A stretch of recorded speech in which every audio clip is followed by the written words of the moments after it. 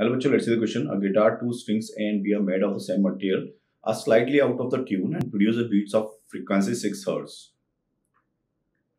When the tension B slightly decreases, uh, the beat frequency increases to 7 Hz. If frequency of A is 530, then what is the frequency of B? So A or B, they are two uh, different sources of source uh, sound. A has a 2 530 and B may be 524 or 536 because they are producing 6 beats per second.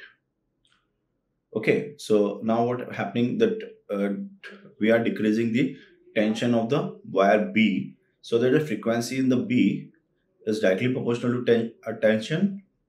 If we decrease the tension so fb will decrease. So it would be 523 522 so so, यहाँ पर ये इससे सात beats दे देगा। Seven beats पर second मिल जाएँगे हमको यहाँ से। जबकि यहाँ से हमको जब ये 523 पे आएगा तब मिलेगा यानी कि ह्यूज डिक्रीमेंट तो हमारी 36 से 23 पे जाएगा तो मिल जाएँगे लेकिन इतना डिक्रीज हो ही नहीं पाएगा। क्यों? क्योंकि ये स्लाइटली डिक्रीज बोला जा रहा है। So right answer of the question is 523 will give the I mean the 524 will give the immediate after decreasing. So right answer of the question is 524. A option is correct. All the best.